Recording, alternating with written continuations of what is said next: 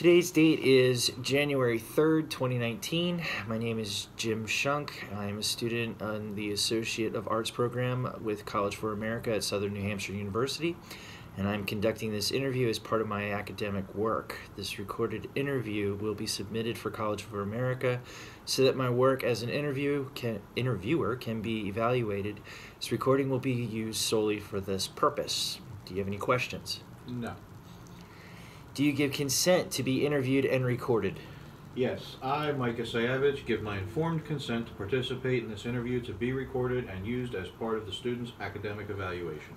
All right, so with that, um, we're going to begin this interview. Um, can you describe a uh, interpersonal conflict that happened at work?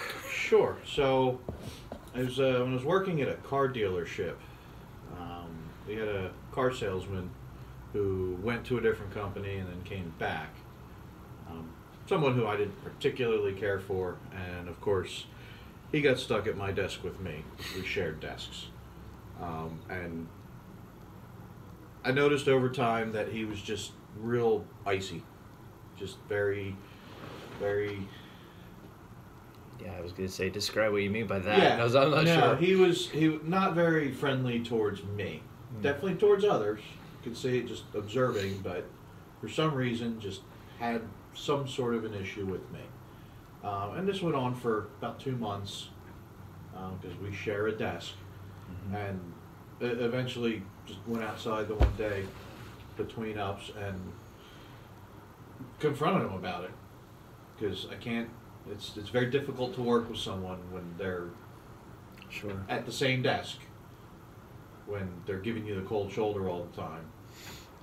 Uh, does not make for a very friendly work day. So I uh, went outside, confronted him about it nicely.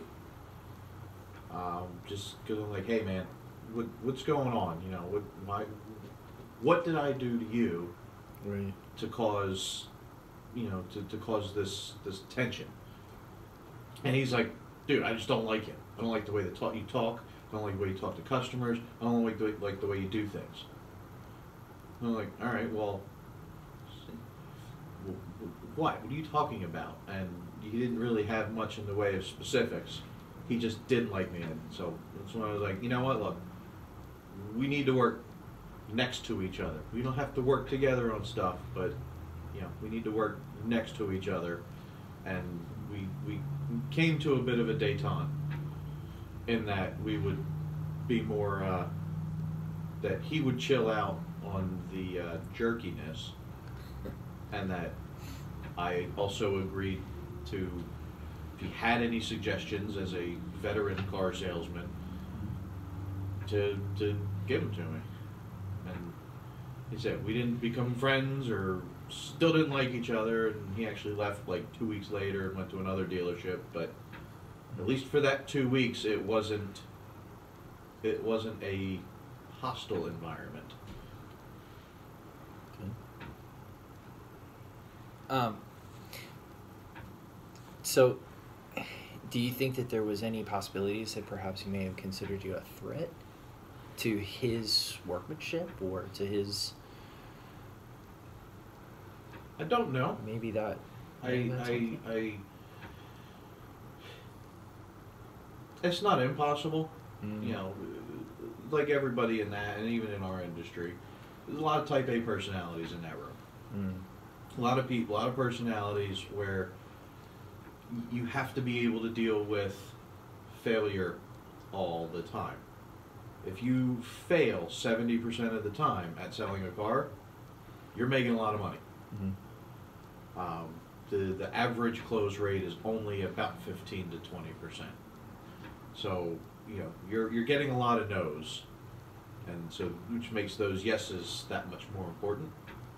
Uh, I, uh, but he had experience over me. He was doing well in it. I was doing okay in it. I, I really didn't like the job ultimately, but you know I, I could be. Mm. Never, never thought of it like that. Um, what was the word that you used? It was a detente. The, Detente. A detente. I'm Yes. not familiar with that. What what exactly does that mean? So that's that is a now thirty year old term used at when uh, it's actually there's it's a historical reference when Reagan and Gorbachev came together and got the United States and the Soviet Union at least talking in friendly terms oh, okay. As the lead up to ending the Cold War, where you know this, the United States started opening itself up a little bit to Mhm. the Russians and or to the Soviets, and vice versa. Mm. Okay. So Yeah, it's it- just a it's an understanding, not necessarily a a peace, hmm as it were. You know, in the reference of the Cold War. Um, but it's at least it's an understanding that you know we need to at least play nice together. We don't have to like each other, but we got to play nice. That's that's actually a good comparison for uh, your uh, conflict that you had there. It's uh, it's never an easy situation to be uh, working with someone that you either don't get along with or or someone that you uh, have uh, some kind of disagreement with, and to to be able to handle it in that manner, to recognize okay that. Perhaps I have faults of my own, and that uh, this person has faults as well. But to be able to come to so- some sort of uh, a collaboration of how can we at least work at least co coexist with each other uh, is is uh, pretty commendable. So, all right, well, um, yeah, thank you very much. I appreciate it. One more. Oh, um, no, I did.